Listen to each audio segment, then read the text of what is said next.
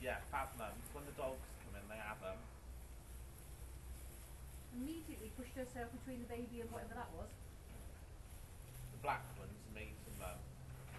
It was this um